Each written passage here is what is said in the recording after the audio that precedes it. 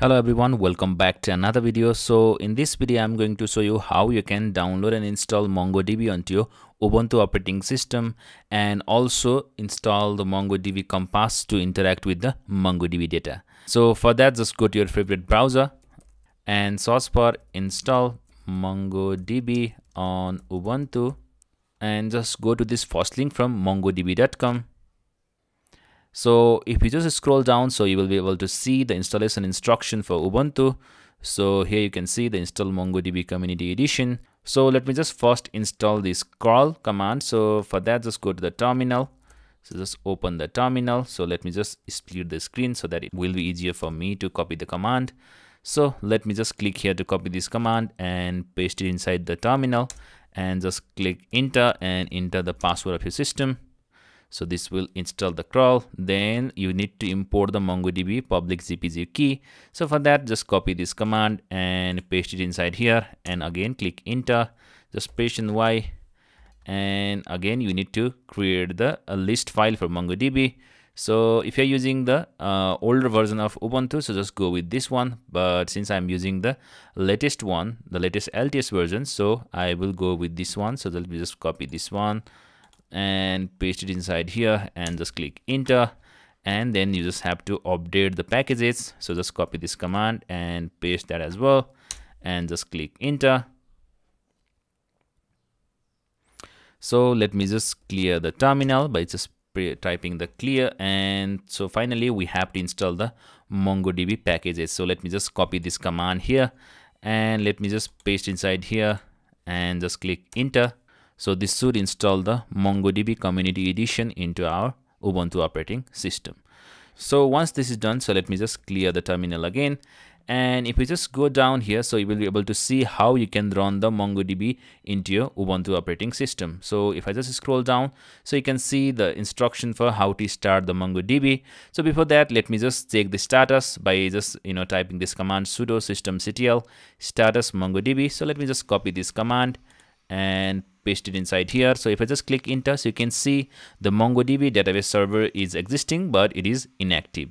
So to make it active so let me just type control and c. So to make it active so we can just type this command sudo systemctl start mongodb. So let me just paste this command and just click enter. And again if i just press an arrow so you can see the status active. So the uh, MongoDB ser server is running on background. So once this is done, so we can also, you know, open the MongoDB shell onto our terminal. So just click on plus sign here to open the new tab of the terminal and just type mongosh and just click enter so you can see so this is the mongodb shell here. So we can just you know uh, type all the commands uh, which are related to the mongodb. So it's something like show dbs for showing databases. So these are the default databases given by the mongodb. So this is how you can perform the operation in mongodb shell as well. But for now so we will be using the mongodb compass. So to download mongodb compass again go to the browser and search for download mongodb compass and just go to this first link from mongodb compass download. So if you just scroll down so you can see the mongodb compass here. So just go there and you just need to choose the platform.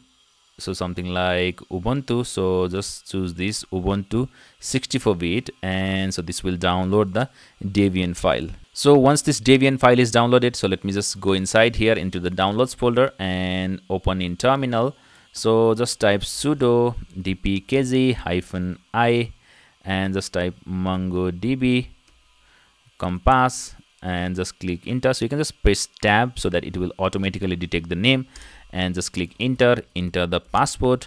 So once you enter the password so this will install the mongodb compass into your ubuntu operating system. So let me just go into the so applications and if i just type mongodb compass so you can see so this is the mongodb compass. So let me just close other tabs from here. So let me just click on start. And so you can just simply click and connect to connect with the database. Just click and get it. So let me just click on here.